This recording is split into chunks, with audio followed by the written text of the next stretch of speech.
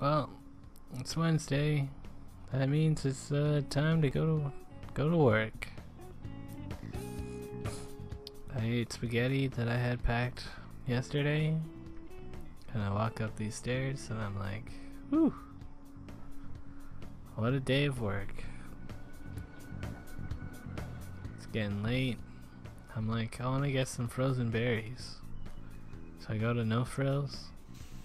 And I walk around just to see if maybe there's other stuff I want. And I see this sign. Higher priced groceries can frill off.